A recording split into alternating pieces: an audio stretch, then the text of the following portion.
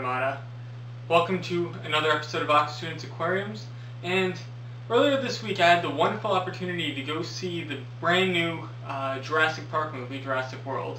Got my Jurassic Park t-shirt on here. Uh, I just loved the series. I re- loved reading the books. Um, Michael Crichton's one of my favorite authors, so uh, in the spirit of the whole dinosaurs and, and all that exciting stuff, I wanted to do a little bit of a spotlight. And what better fish to do a spotlight on than the Polypterus senegalus, aka the dinosaur bichir. So Polypterus, what does that mean?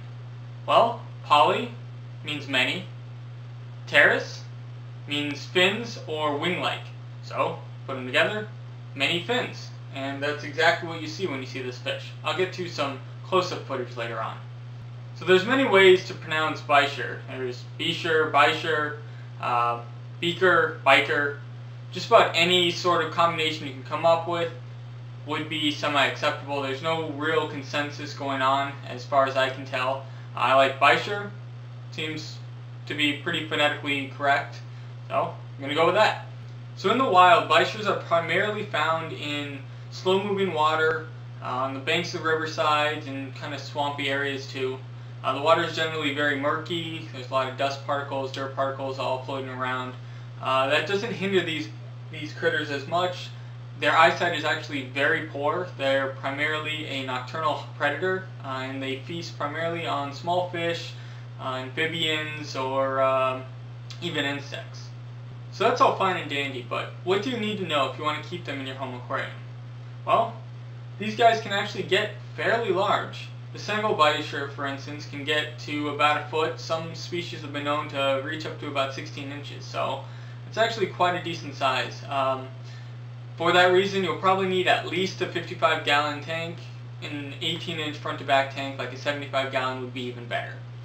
Uh, some of the other species of Polypterus can reach up to and even exceed 2 feet in length. These fish are generally very hardy and aren't too fussy about water parameters. Anywhere from a pH of about 6 to 8 would be fine, uh, but preferably around neutral. Water temperature should be in the mid to upper 70s. I'd give a range from about 76 to 82 uh, with optimal temperature of about 78. So what are some good tank mates to keep with your bichir? Well, fish that aren't small enough to be seen as prey and aren't overly aggressive would be great additions. These include other bichir of similar size, uh, kribs, sinocats, Congo tetras, uh, black ghost knifefish, for example. If we jump over to the New World, we can go with some small to medium-sized uh, cichlids.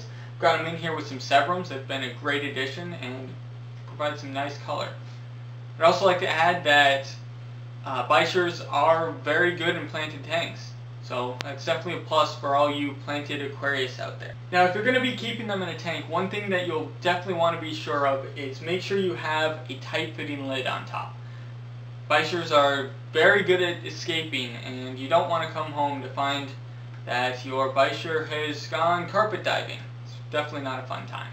So I've done enough talking. Let's get to some close-up video of my Polypterus senegalus, dinosaur bichir, his name is Scar. He's only got one eye, but that doesn't really affect him that much since, as I said before, they've got very poor eyesight anyway. They generally navigate by their sense of smell. Uh, the way he lost his eye was actually way back when I first got him.